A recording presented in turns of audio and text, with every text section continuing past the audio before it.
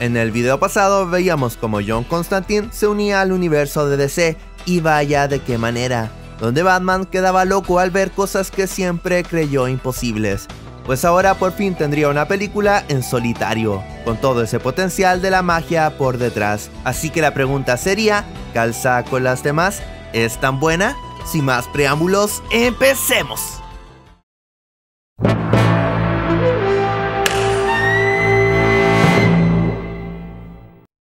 Algo que dejaba en el tintero cuando hablaba de la Liga de la Justicia Oscura es todo lo que gira en torno al personaje, y es que sí, los que conocen a Constantine saben que es un pobre diablo, que se compadece de sí mismo. Pero verlo plasmado es chocante, más aún cuando estamos hablando de un héroe o un antihéroe si quieren llamarle. Pero es más, ahora resulta que convive con los chicos buenos, esos intachables, por lo que se notaría aún más el contraste. Lo que sí, alguien como él era necesario sobre todo para tal crudo universo, ya que a diferencia de la gran mayoría que le chocaría ver ciertas escenas, para John serían más que cotidianas, así que alguien con esa sangre fría vendría como anillo al dedo.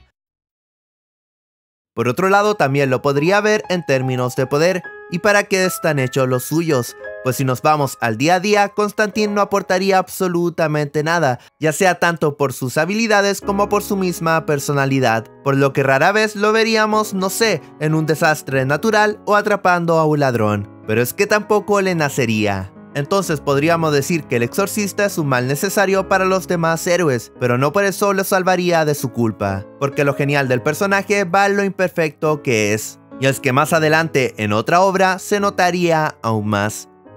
Pero bueno, en este filme, apartándonos un poco del lado bonito y de los nerds de DC, los poderes se mostrarían como una maldición, y más aún cuando este los utilizó de mala manera en el pasado, por lo que la conciencia del protagonista los seguiría atormentando por años, pues ahora vaya que me creo por qué fue tan mala onda con Batman, porque carga con muchísimas cosas, aparte que tampoco es el bueno entre los buenos, pero al menos con este filme me nacería más empatía. Como sinopsis tenemos a John en un nuevo caso. Este tendría una misión muy importante y personal, pues estaría relacionada a la hija de su mejor amigo, el mismo con el cual se había iniciado en ese oscuro mundo. Por un lado me gusta que sus poderes no se cuenten como una gracia divina o algo que le tema, al contrario, este pecaría de soberbio, creyendo que era capaz de todo, incluso traer demonios sin ninguna consecuencia. Pues vaya que estaba equivocado, dándonos el origen más mórbido de un personaje. Pero bueno, con el apocalipsis a la vuelta de la esquina, todo empezaría a tomar forma. Me gusta como un caso que podría ser como cualquier otro se conecte con su pasado, porque al fin y al cabo sería una historia de origen pero vista desde la resolución, pues gracias a eso todo el universo del héroe estaría más que expandido. En lo personal no ubicaba a casi nadie, pero era genial como hay criaturas con miles de matices, siempre con esa dualidad entre el bien y el mal.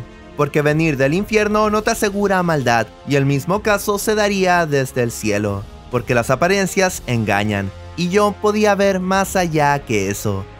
De hecho, la enfermera lo explica claramente, conectándolo con mi punto anterior. Claro, yo no sirve para un problema cotidiano, pero cuando se trata de algo que trasciende lo físico o de algo que no se puede ver, los superpoderes de Superman o el intelecto de Batman quedarían en pañales, porque cuando el peligro no se puede palpar ni sentir, se debía tratar con otros medios.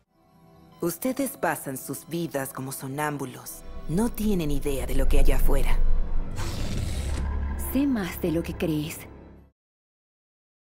Ahora bien, siguiendo con el relato, es admirable como el villano de turno camufla la verdadera historia, porque todo apuntaba a que trataría de mafiosos al puro estilo del inframundo, pero no era tan así, sino que se llevaría a algo mucho más personal, donde aquel demonio conocía de sobremanera a John, y en vez de temerle, este lo vería como un potencial aliado, o más que eso, como un potencial peón. En ese sentido me saco el sombrero ante el protagonista, porque él tiene más que claro que no es una buena persona, que posee millones de defectos y que en cierto sentido merecía estar solo. Pero cuando su amigo de infancia va en su búsqueda, este no pone ni un pero, simplemente iría en plan de ayudar, a pesar de no conocer los riesgos, y mucho menos sabía quién estaba detrás de todo.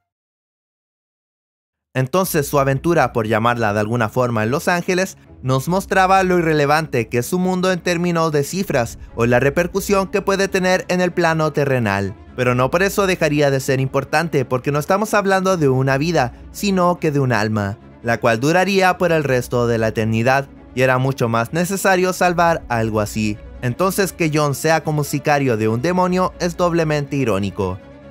Aún así, en ese camino volveríamos a ver esos matices, porque si hablamos de la ciudad de Los Ángeles se deja entrever que sus intenciones no son tan puras. Pero aún así estaba para ayudarlo, o al menos servía para ese propósito. No sé, me encanta que las demás criaturas vean con tanta frialdad a las personas o la vida en general. Obviamente se explica muy bien el porqué, pero aún así es un quiebre total en lo que uno tiene por concepción, más aún en esto de DC, donde está muy bien marcado lo que es correcto o lo que no. Ya en esa cacería, John llamaría a un viejo espíritu azteca versus todos los demonios. Y sí, fue fantástico, pero mientras más veía, más me quedaba la espinita de que no conocía a nadie. Y solo quería saber más y más. Quería una serie, quería otra película y más lore asociado. Porque en un momento la liga desapareció de mi mente. Ya no estaba en el universo animado, sino que era 100% el show de Constantine. Y es que sí, bien que la podía acarrear en solitario, pues miren, es una iglesia y se daría senda masacre, donde el prota está como si nada, porque este lo había planeado todo, incluso traicionar a su breve aliado. Y es que recordemos que son espíritus malignos y no está del todo mal ser desleales con ellos. Ya cuando vuelve con su tarea hecha, se terminaría por consagrar el hecho de que nadie está con nadie y que nadie maneja una moral adecuada o a la cual estábamos acostumbrados, y es que la reina de la ciudad siempre estuvo aliada al antagonista. Pero no es que fuera una gran traición o una gran sorpresa, al contrario, era algo que podía pasar, o más que eso, era más que normal que su decisión fuera así, porque las almas usurpadas por el demonio es la nada misma comparada a la ciudad entera, y la verdad es que aún con ese mal, bien que se podía seguir manteniendo ese status quo. Es como chistoso, pero a la vez no, porque cosa que pasa es culpa de John. Y es que todo le sale mal, aparte el mundo y sus pares están tan acostumbrados a relacionarlo con algo malo que acabaría por traer más y más de lo mismo. Aún así, ya cansado de la situación, decide meterse en pleno negocio de la mafia, acabando con el robo de almas, y todo desencadenaría en la tan esperada batalla final.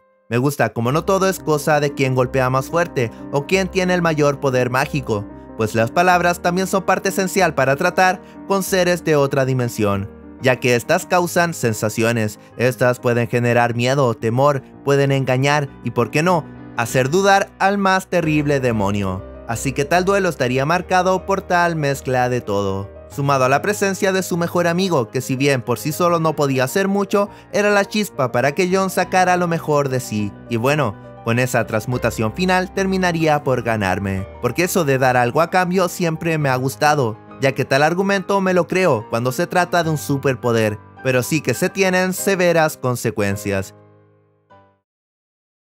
Y pues en este caso la niña por fin sería libre, y por fin volvería a su vida cotidiana, pero de su padre ya no se acordaría. Así que todo ese camino y ese esfuerzo por salvarla jamás llegaría a sus oídos, solo se quedaría en la mente de su padre. Y es más, ni siquiera eso, porque tampoco era suficiente para vencer a ese villano tan poderoso, pues ahora el mismo protagonista pondría algo importante para él. Y así como la muchacha ya no recuerda a su papá, su mejor amigo olvidaría que alguna vez se conocieron, y mucho menos todo lo que pasaron. Pero ojo que si bien puede sonar horrible, no lo era del todo, porque olvidaba lo sucedido en Newcastle, olvidaba todos los malos momentos que lo hizo pasar John y olvidaba la separación con su esposa. Pero tales sentimientos y sensaciones no podían desaparecer así como así, alguien debía cargar con ello. Pues adivinen, no sería otro que nuestro tan querido exorcista. En conclusión, esta película era necesaria para saber más de un personaje tan atípico entre los héroes, sobre todo porque luego tendrá una mayor importancia, así que debía haber algo que nos hiciera empatizar con él, y vaya de qué manera, porque no hace más que basurear al personaje, pero como ya lo he dicho, ahí estaría el brillo, pues es alguien que no tiene nada que perder, pero al momento de la verdad no duda ni un segundo en hacer lo correcto, aún así si eso significa dejarlo más en el fondo, pues ahora se despedía de una de las únicas personas que quiere de manera sincera, y que le hacían recordar esos pequeños trozos de humanidad y normalidad que aún viven en él. Pero bueno, en su trabajo eso puede pasar y aunque sea lo más sacrificado del mundo, alguien debe hacerlo. Por esto y muchas cosas más, John Constantine, Ciudad de los Demonios, se ha ganado un lugar en este pequeño rincón. Bueno, no puedes, no sé, echarlos mágicamente. ¿Quién diablos crees que soy el maldito Doctor Strange? Y ya está gente, espero que les haya gustado. Déjenme en los comentarios qué les pareció y díganme si esta película es necesaria para disfrutar el tan esperado apocalipsis. No se olviden de dejar su like y también suscribirse para ver mi otro contenido. Además de seguirme en mis redes sociales donde siempre estoy atento a sus comentarios. Por último y no menos importante, muchas gracias a todos los miembros del canal. Cada vez somos más maestros y espero que seamos muchos más. Aquí el anónimo y nos vemos.